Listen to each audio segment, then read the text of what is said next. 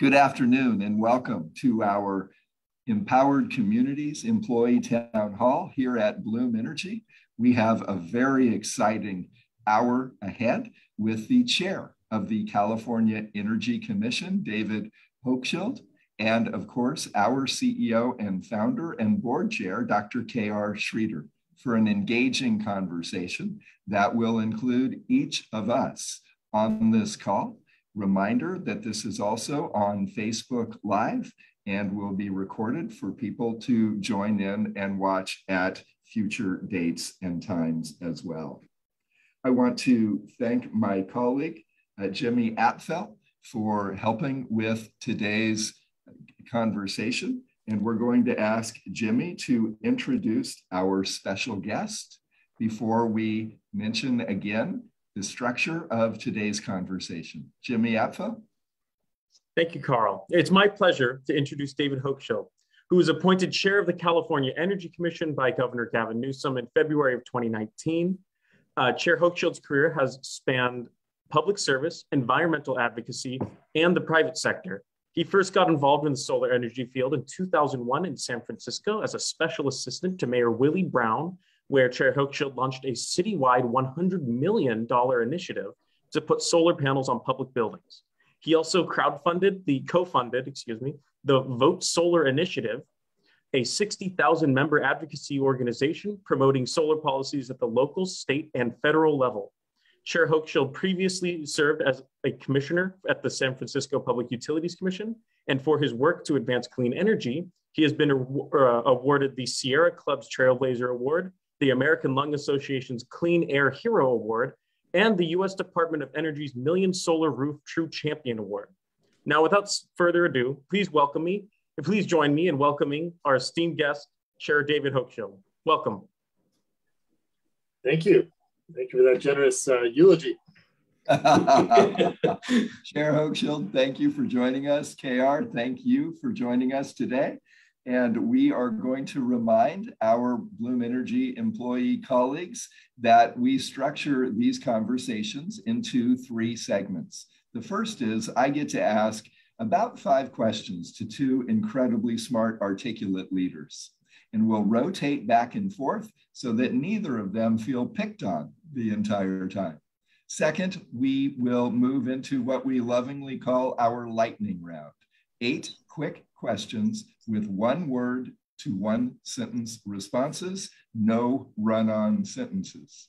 And then finally, my favorite part of our Bloom Energy Empowered Communities Employee Town Hall, that's hearing from our colleagues here at Bloom Energy, where you can place your questions into the chat box and we will get to as many of your questions to either of our special guests as we can. With that, let's move forward with segment one, some questions to our two leaders. SB 100 established the goal of 100% renewable and zero carbon electricity for California by 2045 and ensuring at least 60% renewable electricity by 2030. Starting with Chair Hochschild, can you share how the California Energy Commission is enabling the next two decades of renewable energy growth?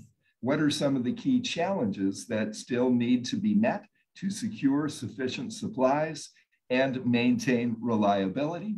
After we hear from Chair Hochschild, we'll be asking a similar question on SB 100 to KR. Mr. Chair. Well, thank you, Carl. Good to be with you and KR, you as well. Um, so just first of all, a little bit about the Energy Commission. We're a 750 person state agency based in Sacramento that's focused on getting our state to 100% clean energy future. We move about a billion dollars a year in grants, although that's now increasing with this latest uh, budget. It's almost 4 billion in the governor's budget for us this year on everything from electric vehicle charging infrastructure to energy storage and renewable technologies. Um, the passage of SB 100 was really a landmark um, achievement in our climate uh, story in California. Now it's a law in 18 states around the country, and President Biden has set it as the goal for the country. We have to procure to meet that a huge amount of new renewables. So over the next five years, about 25 gigawatts of renewables, and we're doing it. I'm happy to share that as of last week, uh, we just got confirmation that we um, installed 5.4 gigawatts of renewables in 2021 alone. There's another four gigs coming online by June. So 18, uh, so nine gigawatts over 18 months is pretty darn good. Uh, we got to keep up that pace, of course, to be successful. Um, and the strategy here is a diverse portfolio. We don't want 100% solar. We want many different clean resources, including geothermal and small hydro, and uh, solar, offshore wind, onshore wind, uh, biomass, and others. And uh, energy storage is a really important piece of that puzzle uh, as well. Uh, we want a diverse portfolio, and we always want to focus on energy efficiency because um, with strict energy efficiency standards, such as we have here in California, you know, we're, we're using about half the energy per capita of the rest of the country. And so that means we don't have to do as much generation. And so that's a really important piece of the puzzle. We pursue that through our codes and standards uh, that we set for new appliances um, and, uh, and new construction. Um, so exciting times. We need to do, you know, a lot. I think I will just close by saying, I think all of us feel great personal urgency on this issue. You can't live on the West Coast of the United States and, and see the fires and breathe that smoke uh, and not feel that. But on top of that, you know, with what's happening in the Ukraine now, you know, ultimately the way to respond to a petro thug like Vladimir Putin strategically long term is to reduce our reliance on fossil fuels over time. And so this is both an imperative for our climate and for peace and democracy. And I think, you know, for that reason, there's really great support um, across the legislature and across the state, and certainly from the governor for, um, you know, accelerating this work. Chair Hochschild, thank you for that thoughtful and thorough response. Obviously, challenges that Chair Hochschild referred to in terms of wildfires, which often lead to PSPS events and rolling blackouts, and other challenges that often impact our most underserved communities first. KR, how can innovative employers like Bloom Energy help policymakers overcome the challenges unique to this state but in similar themes across the country and the world. Thank you, Carl and Chair Hochschild. It's so nice to have you on uh, on with us and with our employees. So thank you for being here. And like many of us, you started in the private sector and you're dedicated to public service over the decades. We don't say this often enough to people who serve. Thank you for your service. And so with that, uh, I think you gave a great overview on where the state needs to go and become a leader that other states and other countries can follow in terms of the decarbonization goals uh, that are at the uh, foundational level why we are doing what we are doing with renewables and uh, it is both climate change it is also energy access energy affordability and it's about uh, environmental justice, inclusiveness. So I think it encompasses enormous number of things. Uh, when we do this right, so many other things need to become right. So it becomes a model. And that's where companies like ours, Bloom, offer in every segment of the decarbonization a value proposition. Uh, our technology of being on site, providing that reliable, resilient power that are going to be required in so many places that are critical to everyday life, given that we're going into a digital transformation, becomes a very important uh, complementary technology to anything we do with intermittent solar, wind, and all that.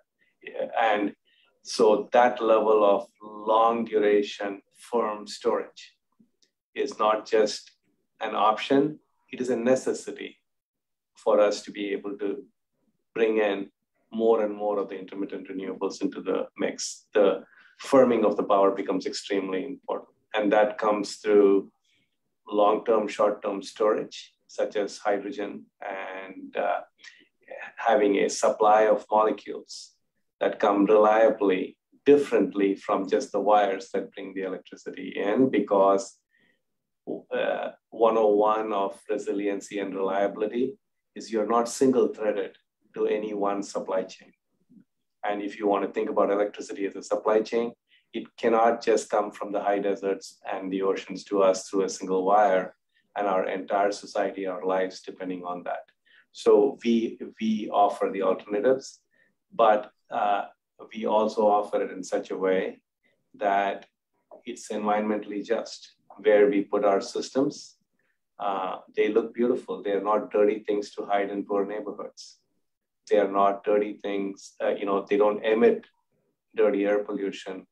So people want it to be located in communities that are already disadvantaged. Uh, we just break those paradigms because we believe in doing the right thing from an environmental justice, social justice perspective. So whether it is producing hydrogen with the most highest efficiency possible with the renewable power, whether it is the ability to use biogas in small concentrated uh, areas rather than just aggregating it in large scale and not letting the methane go into the atmosphere, rather converting that into zero carbon electricity, whether it's not using water to produce reliable power, which is a very big issue in the state. Uh, you know, the number one user of energy in the state is water. And the fact that we don't use water to produce power becomes very important. So these are the ways we help. KR, let's build on that because any conversation about the transition away from fossil fuels includes, as you mentioned, the role of reliable energy storage, not solely short term, but long term. And by long term, I'm not talking eight hours, I'm talking days or weeks. When you think about long term, affordable, and equitable energy storage, what is your vision for the future? And what steps do you think will need to be made for widespread adoption? And again, KR, we'll start with you and then go to the chairman. Sure. So, so look, energy is the ultimate perishable. You know, electricity is the ultimate perishable. When you make it, if you don't use it, it goes away unless you store it. There are two ways to think about storage. One is short-term storage, which is, you know, which are batteries. You can you can you can charge during the day and discharge during the night, or you know during hours, and what you need to do. The other one is long-term storage, and long-term storage comes from creating molecules. That's why oil and gas were, were wonderful for us to get the previous century to, uh, and the industrial revolution because it was a storable fuel that you could transport anywhere you want. Of course, it comes with the unintended consequence of the CO2 in the atmosphere and what that does to climate. So still a molecule is needed and a hydrogen becomes that carrier molecule. So uh, it can be a green hydrogen. Now, that hydrogen if you want it to be reliable on site, needs to come through a pipe. Luckily, so pipes are not bad. It's the molecules in the pipe. Just like the internet is not bad. It just depends on if you use it for bad purposes. Just because you're watching things you should not be watching does not make, make the internet pipe bad. Similarly, the pipe is not a bad pipe. It is the molecules inside. What are the attributes you need? Now, the cleanest of all the fossil fuels, which we are going to need in the world for another 30 years, even in the best scenario, is natural gas. But here in this state, how do we start blending more and more of the natural gas with green molecules? Whether it comes from biogas, whether it comes from hydrogen, and all of the above. And you start blending that in. But you're going to need more than one single carrier of energy coming in into critical, vital industries you know, uh, you know, mission critical support structures, businesses for us to have a reliable electricity system. So this notion of getting rid of the pipes and electrifying everything comes from people who don't understand reliability and resiliency is of utmost importance with energy. And without that, we cannot, you know, we will not get the public to accept something because that's a public hazard. KR, thank you. Uh, David Hochschild. Yeah, so I, I would agree with that. I think that um, you know things are evolving with electrification, and you know it's I, I it's funny that we're having this conversation. I had I spent all yesterday afternoon on a legislative hearing on hydrogen. I've never never answered so many questions in my life on hydrogen until yesterday. Um, but the way that I see it is that um, you know, there is a absolutely a niche for for hydrogen. I don't see hydrogen supplanting everything that today is powered by fossil fuels simply because um, the, the reach of electrification is expanding. And so you see, for example, in passenger duty vehicles, Bloomberg New Energy Finance tracks this. We have 472 models of electric vehicles uh, come announced coming to market by um, by the 2024. Three models of fuel cell passenger vehicles. That's not really where I see the fuel cell play on transportation. I think that's much more a heavy duty play. Um, there's a bunch of things that I think are inherently very difficult to electrify. Everything from aviation to to some of the long range uh, rail and some industrial applications and the power sector as well. So we will need um, multiple strategies, as you as you suggest. Um, but I do think you know the, the pipeline is a, is a tricky one in that you know there is a limit to the amount of hydrogen you can get into a pipeline before you start dealing with embrittlement. Um, and so some of these applications, you know, I do think there are going to have to be some dedicated, um, some dedicated, uh, you know, pipelines and so forth, um, you know, for us to to meet our goals. Uh, but I will say on the storage side, um, you know, there's some really exciting news. The governor has added uh, to our budget this year $380 million for long duration storage. That's you know everything from iron air, zinc air, thermal, pumped hydro, et cetera. Um, and that's more money than we've ever had infused into this space. And together with the, the rest of the budget, which is incredibly bold, there's um, this year there's six billion just for transportation electrification, which includes EVs and fuel cell uh, vehicles and infrastructure. Um, you know, added to the four billion from last year, it's ten billion dollars over two years. This budget this year, really, the right way to understand it, it is it is like any one of the landmark climate bills we've had, SB 100 or AB 32. Uh, just in its size, we had uh, you know very healthy tax returns from a bunch of tech sector exits uh, last year, and it's really uh, helped us be able to be in the position we are, which is uh, really exciting from an investment perspective. And David, if you could uh, just define how the governor is viewing long duration. When you talk about 380 million for long duration storage, that's music to our ears. How are yeah. we defining long?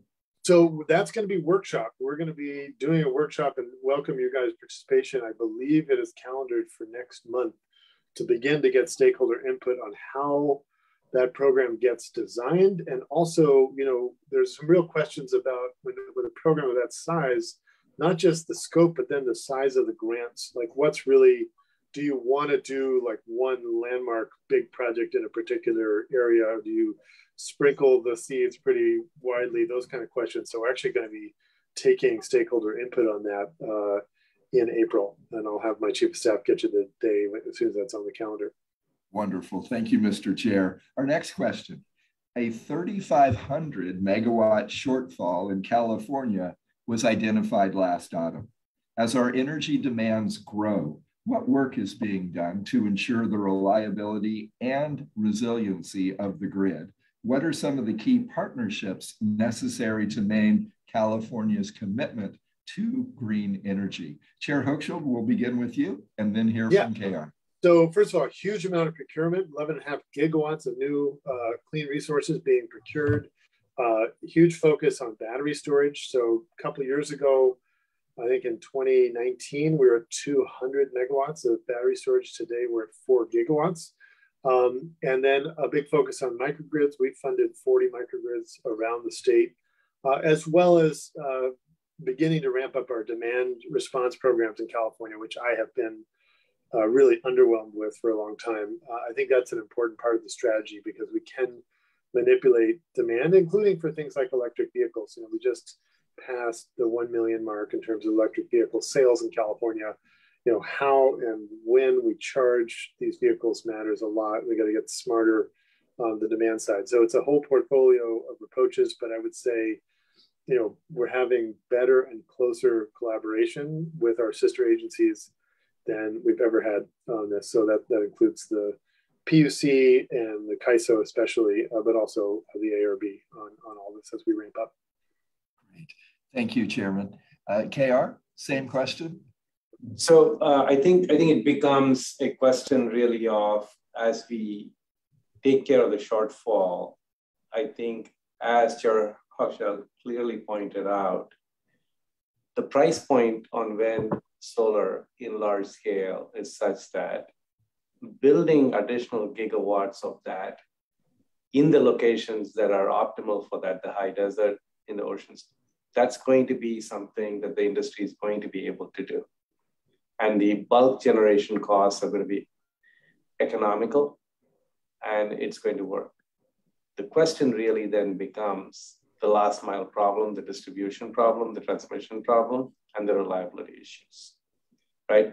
There, I'm not as optimistic about uh, battery storage being able to take care of the long-term storage. The four gigawatts sounds really good, David, until we look at that's that's one hour's worth of that's one to two hours worth of the four gigawatts of shortage that we have, right? When you when you translate that to gigawatt hours that you need to generate, um, because because the charge discharge is where we need to go. So that we still need to continue to do that, but we need a lot more than that. So I would say, should we just go forward and increase all these things? The answer is absolutely as aggressively as we can, but we need more than that. Without that, there's going to be a shortfall. And what that shortfall does, supply demand to prices of, of electricity prices as, as delivered, not as generated, is the really carbon intensive or fuel intensive or energy intensive companies leave the state. And they generate the products with a lot more carbon intensive fuel than they would have if they had stayed in the state. And it comes at an expense to us and it and and and we lose our jobs here the manufacturing jobs. That's not good for the state. That's not justice for the middle class and the lower class so we need to think through this a lot more smartly of saying, how do we keep those carbon intensive factories here as long as we are consuming those products and make them less carbon intensive as opposed to driving them out of the state because of which out of sight, out of mind, but it's one single atmosphere. We are not helping the climate when we do that. David, would you like to respond before the next question? Yeah, I, well, I think you're you're absolutely right on energy costs, and I think one of the things that is driving that is that you know climate change is making it harder to fight climate change in the sense that, for example, the liability costs of these wildfires, bizarrely, unfairly, in my in my view, is then imposed on ratepayers. You know, and so we're doing these like wildfire settlements uh, with communities who, who need compensation, but that's being basically passed on to ratepayers. And so it has jacked up rates. To counter that, there's a bunch of measures that are being put in place now to attract manufacturing. We have one of those programs, which is $250 million to support electric vehicle manufacturing in California. And we're breaking that up into three buckets um, one for vehicles, one for the batteries, and one for EV chargers. Uh, and we're providing those grants. There's a bunch of new tax credits. There's a billion dollars of new tax credits for um, various new clean energy headquartered companies here, uh, as well sales tax exemptions and so forth. Um, but you're absolutely right. It is an issue. It's a big issue, our energy costs. And when I've been engaging with these companies, that is one of the, the top um, challenges they cite. We do offer proximity to market, which I think is very attractive to your battery manufacturer or an EV manufacturer. We have 43 companies making EVs in the state today, and uh, it was our number one export um, in, in 2020. Um, but it is a huge issue, uh, KR, and you're right to identify it. Thank you both. We're going to move on to our next question, and I'm going to state the obvious with you two and the and the people here at Bloom Online. Uh, the industries with some of the highest CO2 emissions, like steel, cement, and chemical manufacturing, are also some of the hardest to decarbonize. Yet it's imperative that we find a way to reduce their emissions. Looking forward, what are some solutions to decarbonization that you're excited about? We're going to first hear from KR and then Chair Hochschild. So that's a great question, and that leads to what uh, David you just talked about, right? Uh, for us to see a lot more of wind and solar and offshore wind, we need heck of a lot of steel. We need a heck of a lot of aluminum. Uh, these are, you know, huge uh, carbon intensive industries today as their structure. Um, I think creating an environment to promote those companies to come out here, the most polluting industries to come out here, and, and showing them with the incentives we have and the technology that we have, that we can reduce the carbon footprint may sound counterintuitive if you went and talked about it. Why would we bring the polluting industries not in my backyard? But it's happening in somebody else's backyard at five times the pollution. It's doing the same damage to you and your health and your children's future. Right? That's the argument to be made. That's a tough argument to make, but that's the argument to be made. So if you are an economist saying for every dollar I spend, how do I make the most effective use of that carbon intensity? I would say bring the dirtiest of industries out here with the right incentives, right technology, and lower that footprint. Um, and the way we move the needle with that, and the jobs we create, and the model we set for the rest of the world, and enable the production of those materials that will then help all the all the all the renewable technologies we're looking for, whether it is lithium produced in the dirtiest possible way today for batteries, or the steel that has the most carbon intensity for it. I think these are real facts that we have to address, right? Mm-hmm. Yeah, I would totally agree with that last point, and and we can't de- fully decarbonize every industry. I do I do want to start with that reality. I think we do need carbon capture. I did a tour actually last week visiting four companies that are doing carbon capture. Two of them, Heirloom and Mosaic Materials, are doing direct air capture. Um, uh, then I've visited 12 and Ebb. Uh, have some different approaches. Uh, and I, am going to be visiting Iceland next month to take a look at the Climeworks direct air capture technology. I do think that has to be a part of the portfolio, but we can do a lot on the industrial decarb side. We have in this, one of the reasons I keep coming back to the budget, it just has so much good stuff in it. There's 210 million in there for industrial decarbonization. That includes things like cement manufacturing. So we're going to focus very heavily on that. There's companies like Blue Planet and others that are finding ways to capture carbon and put it into cement. I think that's really exciting and really necessary. Um, and then, you know, you mentioned, KR, what we're doing with lithium. This has been a huge focus for us. We just did a roundtable with President Biden and Governor Newsom uh, two weeks ago on this. And we are right now 95% of the lithium in the world comes from four countries uh, Chile and Argentina and Australia and China. In Australia and China, it's hard rock mining. So you're busting up this rock until it's 94% rock and 6% lithium, and you put it on a ship and send it to a refinery. It's energy intensive and carbon intensive to create that lithium. Uh, and then in Chile and Argentina, it's these massive evaporation ponds, pretty big environmental footprint. We have the greenest way to produce lithium in the world with this closed loop zero waste system in the Salton Sea, very light footprint, powered by 100% geothermal energy.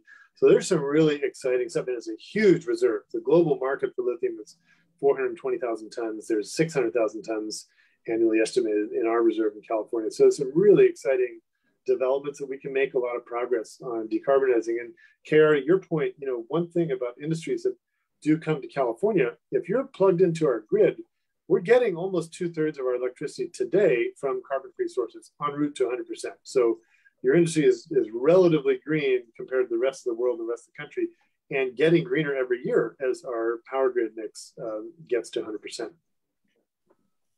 Chair Hochschild, we're going to come to you next for our final question in this segment, because there's a lot of excitement nationwide around the Department of Energy's Clean Hydrogen Hubs $8 billion grant program that was in the bipartisan infrastructure bill signed by the president at the end of last year.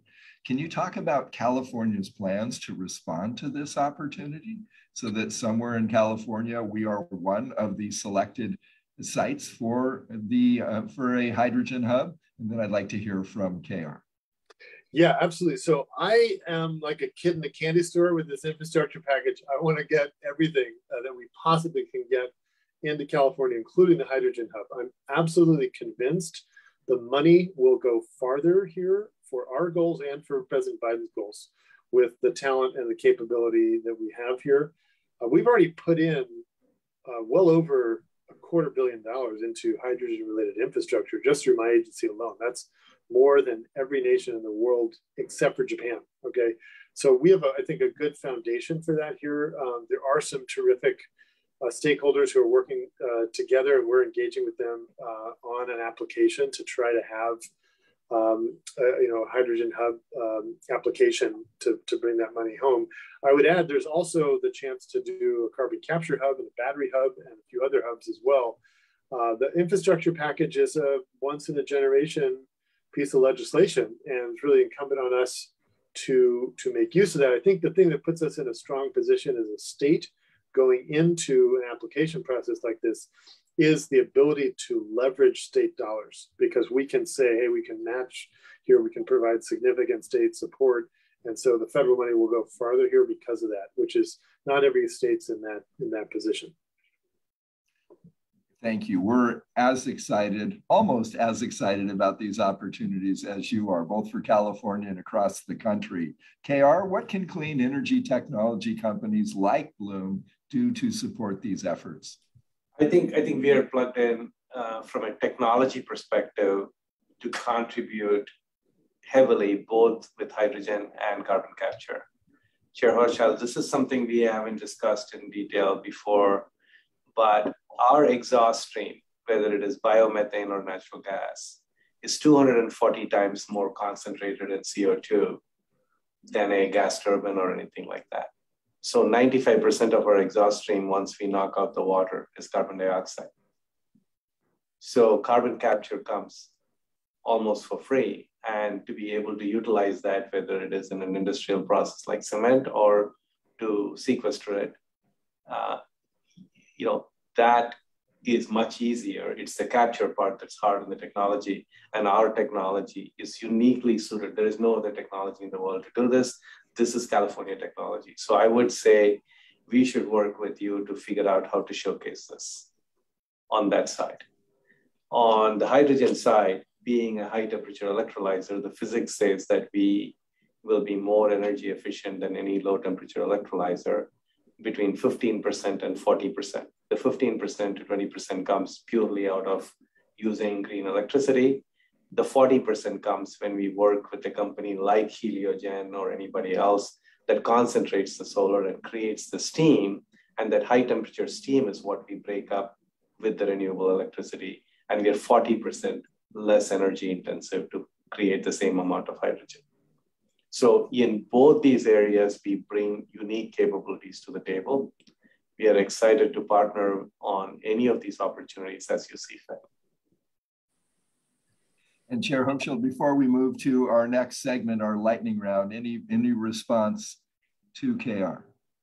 No, uh, those are great points, and I'd love to follow up with you after this, KR, on that. Thank you. Yeah.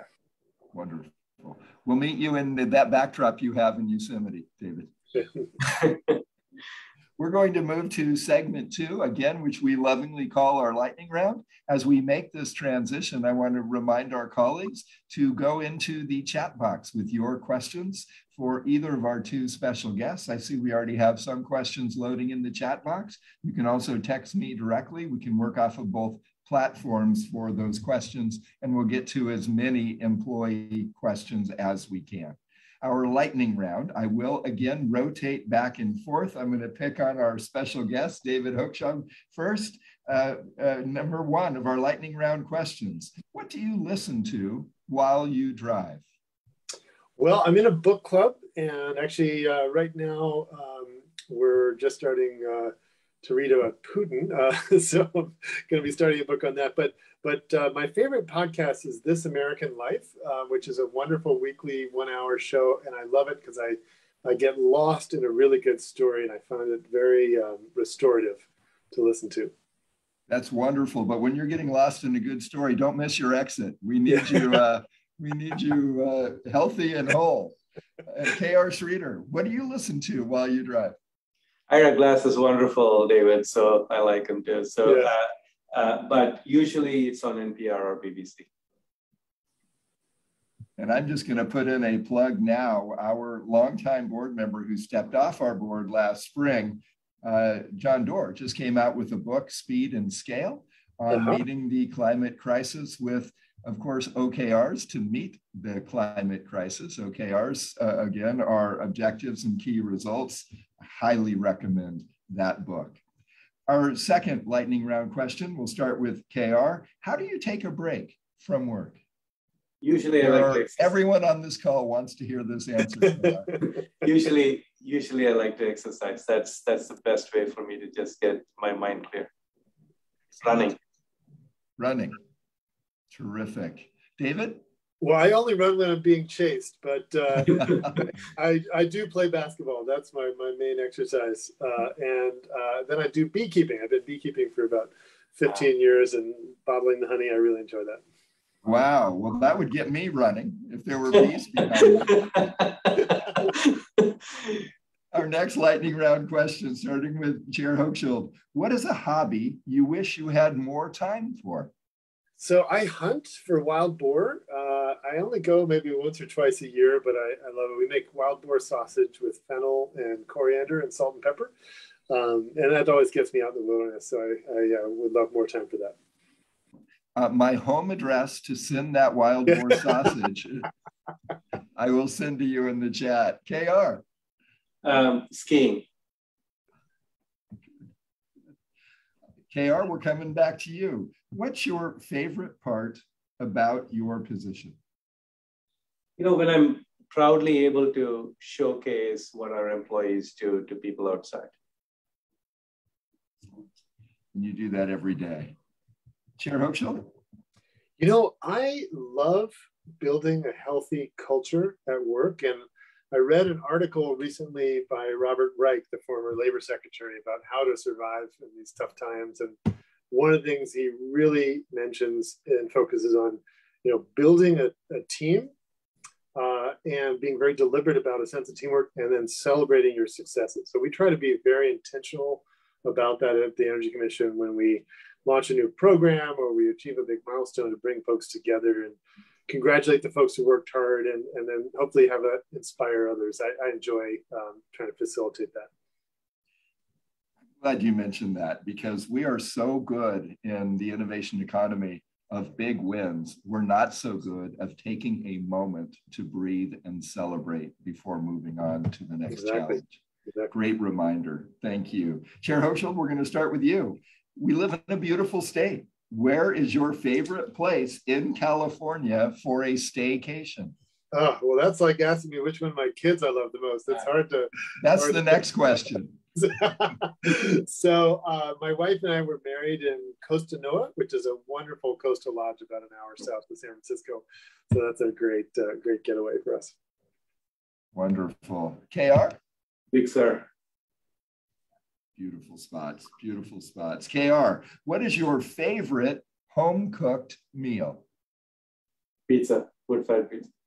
Ah, that you home cook? Yeah. I always knew you were Italian, and now it's now it's confirmed. Just a good suntan. Chair Hochschild. Uh, I love to make vegetable soup and, and, get fresh veggies from the farmer's market and uh, make a big big pot of soup on the weekend. Chair Hochschild? Like this is, is like a you know a dating show or something where all these kids. uh, Chair Hochschild, what is another profession you know you'd secretly be great at? Well, I don't know if I'd be great at it, but I would love to be the pilot flying the Coast Guard helicopter. So next next lifetime, um, that's on my list. Wow. Do you fly? I do, yeah, but not helicopters. Yeah. Impressive. KR. My childhood dream uh, being an astronaut. Right. Fascinating. Fascinating. KR, our, our final lightning round question is back to you. What gives you optimism for the future? The next generation. And Chair Hochschild? Yeah, I have the same answer. I, I am so inspired by seeing young people today coming into the field, and it does give me hope. And I do feel that hope is it resides in the human spirit for a reason. I think there always is hope, and um, and I, I just feel very conscious of it when I meet, you know, just really impressive young people. That just refuels me in a way I can't uh, can't describe. Great response, and thank you. That is the end of our lightning round questions. My favorite part of our Bloom Energy employee, uh, empowered employee community town halls are questions from colleagues. The first one, Chair Hochschild, is from a name you will recognize. I know how highly he thinks of you. Arthur Habenstock on our legal and regulatory team asks, Chair Hochschild, welcome. Thank you for spending this time with us in your view, how important is the role of clean, firm baseload power to California and its clean energy future? Well, Arthur, uh, good to hear from you, and congratulations to you and your wife again on the, the latest baby. Uh, I um, I think it's hugely important. One of the reasons why is that Diablo Canyon, which is the last remaining of the five nuclear plants we built in California, uh, is being decommissioned in 2025. That's 2.2 gigs of you know firm power, and so you know replacing that um, you know is is critical in normal times, but even more important now because we're electrifying so much. We're adding about 650 electric vehicles a day to California, and so you know electric demand is going up. So uh, it is a it is absolutely a critical piece of the puzzle. Thank you, Chair Hochschild. KR, your thoughts? Um, you know, I think uh, microgrids are going to become a necessity. There is going to be a time between, as we make these changes, uh, it's like trying to bring security to a town. You can't secure the entire town, but first you secure your banks, you secure your, you know, vulnerable neighborhoods first, before you secure anything else. Uh, that's not part of the equation right now. The state uh, legal process does not allow it in a in a simplistic way. The PUC rules don't allow it, but that has to become a necessity uh, in order for us to secure those critical infrastructure for um, you know um, social good.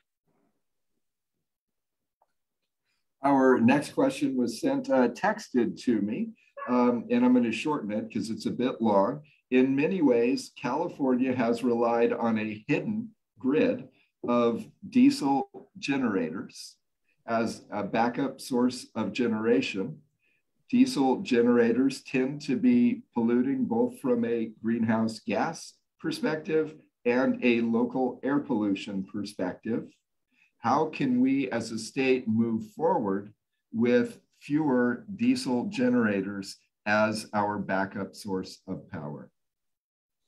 That is a great question, and it's really one that you know I hope your company uh, is you know increasingly going to be able to to help meet that need. We do get applications a lot from Silicon Valley for backup um, generation, and it's mostly diesel, um, and it's a shame because yeah, building diesel today, it just feels like uh, such a 20th century, even 19th century uh, technology. Um, and uh, it's never popular, particularly with environmental justice communities.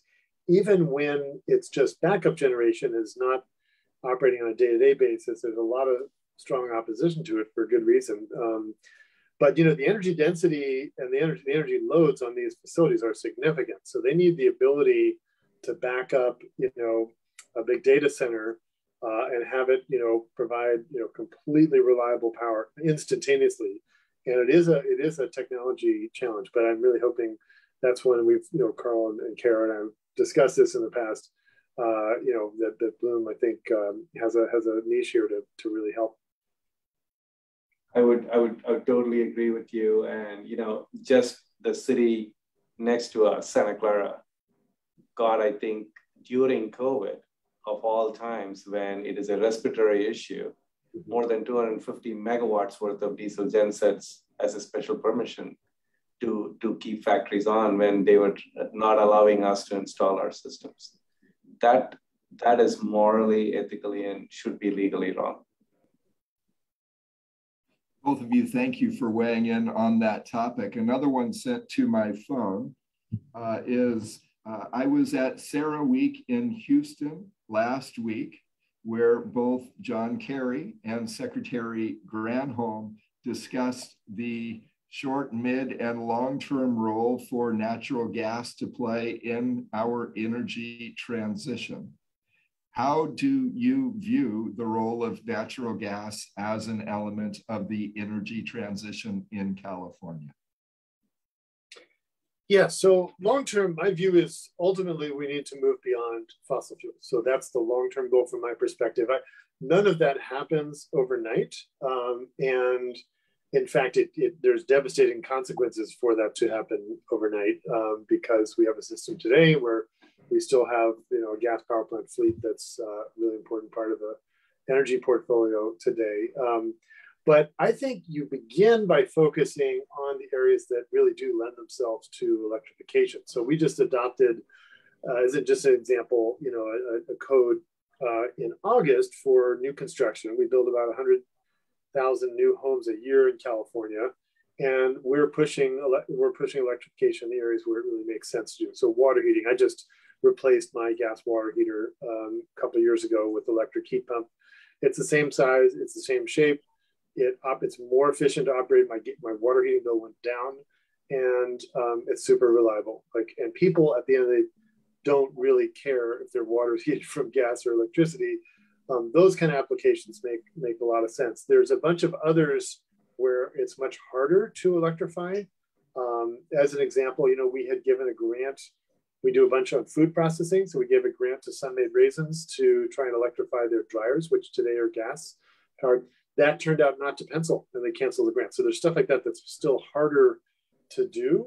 Um, but there's a lot that is actually, I think, lending itself to electrification.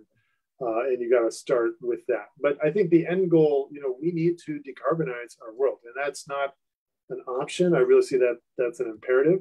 But you have to be kind of ruthlessly pragmatic about how to proceed to make sure you're making progress um, every single day. And some of that, by the way, is changing the incentive. So as an example, the PUC has a proceeding uh, that will resolve and I think be voted on in October, which basically will remove the subsidy. All ratepayers today subsidize new natural gas distribution lines, and that subsidy will be removed if this uh, you know, if this uh, decision gets adopted. So that's, you know, about $120 million a year of subsidy for natural gas infrastructure. That's the kind of thing over time that I think is the, is the smart thing to do. Um, and then, you know, just to make also very, very efficient use of the gas that we do use. So we're not actually using more than we need. And the other piece of it, I think is really important is um, fugitive emissions. We have 2 million wellheads in the United States. There are fugitive emissions from that. Some of the the new mapping of that is really scary because there's actually a lot more leakage than was previously acknowledged, and that's got to be capped. It's got to be regulated well, um, and that's all. You know, uh, uh, I think you know, poor President Biden came in with a lot to do, but but uh, you know he's he's got to build the architecture to do all that well. KR. So uh, look, in the short term, I think there are a few things that we should do immediately with natural gas. Um, it is the best option between now and 2030 to bring about decarbonization in addition to what solar and wind can do. If you're looking for places to bring significant billion tons, so all the additional infrastructure in the world put together between now and 2030, if we meet the net zero emissions by 2050 goals, would be about 3.8 billion tons the additional, uh, you know, uh, solar and wind that we put together. If we replace coal with, uh, with, with like gas in addition to that existing stuff in the world, that is an opportunity for about seven to eight billion tons of additional CO2 removal. If it is about speed at which we take CO2 out of the atmosphere, that's what we need to do. But on top of that, by eliminating fugitive emissions, which the chair spoke about, you have significant greater opportunity, and that's very large. And uh, so you would be very happy to hear that at Bloom, we were the first company to say our entire fleet will only run out of responsibly sourced gas that has no fugitive emissions or you know minimal fugitive emissions as verified by third party uh, you know institutes like RMI. So that's what we do. So we have to do that. The place where I would take a slightly different view on is we actually should be funding gas infrastructure to minimize the leaks and enabling it for a future green molecule as opposed to taking funding away, which will only lead to more leaks between now and then. So I would take a very differing view on that, on what we need to do about the about the pipe. Again, the pipe is not the enemy out here. It is greening the molecule that needs to happen over time. But I would be spending more money on monitoring and making sure the pipes don't have leaks and, and we have a better pipe infrastructure. David, response on that before we go to the next? Well, I think we will have a pipe infrastructure. I think maybe where I have a different view than KR, I think it'll be a lot smaller than what we have today. And in fact, for residential new construction, I actually think that can be completely electrified, and that's the direction builders are, are going. Uh, so you don't actually need a lot of this new distribution infrastructure that's being proposed. And in fact, I think it does add cost to have two duplicative delivery infrastructures for energy where only electricity could suffice. Again, there's applications where they're hard to electrify that you're going to need pipes, but I think that um, uh, the reach of electrification, even in the last 18 months, I would say, you know, has been rapidly expanding in terms of what uh, what's possible. And I love it when when we're able to have this type of an interaction. Kr, any final thoughts? We have we have at least three more questions that I'm hoping to get to as time allows. Yes. Kr, any thought? You know, you know, let's go to the questions. I think I think it's good to get as many questions. Great. The next one is from Amber, and it's uh, KR to you. Does LG's recent pull from the solar industry impact Bloom's collaboration with LG in any ways? Uh, sorry, does LG's what? Recent pull from the solar industry impact Bloom's collaboration with LG in any way? Look, uh, we are we are partnered with SK. That's our that's our Korean company that we partner with, and uh, so we don't have a relationship today with LG. So I'm happy to take it offline with Amber and understand the question better. Great, good. Uh, and then two came uh, to my text. Uh, the first one is as California increasingly electrifies, how can we leverage customer investments to help assure reliability and maintain reasonable rates? David? Well, I think the model for energy is changing. Um, you know, traditionally it used to be energy demand drove um, energy uh, production. So factory, you turn it on and then someone fires up a natural gas power plant and you have your power. Now a subset of that is going to switch and we're going to be able to make use of renewables that are producing and that's when we charge our batteries that's when we charge our vehicles that's when we pre-cool our homes that's when we uh, do uh, make use of these other demands that are flexible. And we have to be really smart about that. And when we are, that actually delivers a lot of ratepayer savings. So it's really important to um, to be intelligent about that. And this is an area where I will admit I think we've been weak as a state on demand response. I think our programs to date have not been effective. So we're working really hard on that. I have uh, my top guy at the Energy Commission, Siva Gunda, is my vice chair, focused on that and we are uh, doing meetings with all the demand response companies and so forth um, because it's an imperative for grid reliability and for rates. Um, you know, you reduce the amount of new capacity you need to build when you're intelligent about demand response. KR, would you like to respond to that as well? Sure, this is an easy one because I think the chair's uh, charter and what they do in their group uh, is uh, centuries separated from the sister organization of the PUC that has a rate structure coming from the gaslight era.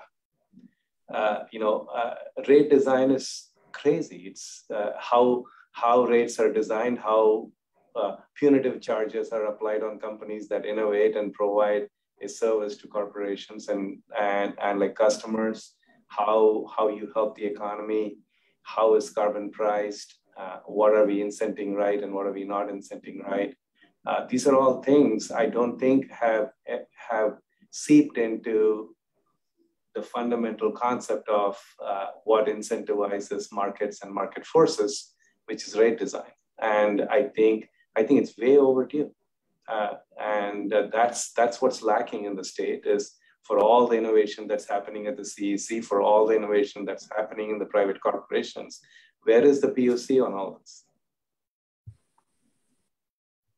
And we are going to move to uh, some closing comments. There was one more question. It was geopolitical in nature with what's going on in Ukraine. I'm not sure we could do that justice in 60 seconds, unfortunately. What we would like to do, though, is hear from two members of our team with closing remarks of nuggets. What did they hear today that they are going to take away from this conversation? We're going to start with Amanda's Song on our communications and marketing team. Amanda? Thank you, Carl, and thank you both Chair Hochschild and KR um, for being here and sharing your thoughts with us. Um, something that KR said really stuck with me during this discussion. So KR, you said that energy is the ultimate perishable um, because if you don't use it, you lose it unless you find a way to store it. Um, and when you think about the fact that so many people don't even have enough access to electricity and energy as it is, um, and it's most of our energy is still procured in a way that releases emissions and causes damage to our environment. Um, so energy is a really precious resource. And I think if we want to increase our energy efficiency, finding a way to store that energy and stop wasting even one gigawatt of power um, is essential. So I was so thankful to hear both of your thoughts on energy storage. I'm really glad to hear that we have 380 million in funding from the government um, and moreover, Bloom is working on hydrogen electrolysis, which is a one way to help store excess energy, especially from renewables. Um, so yeah, those are some of the main takeaways I got from this. And thank you very much.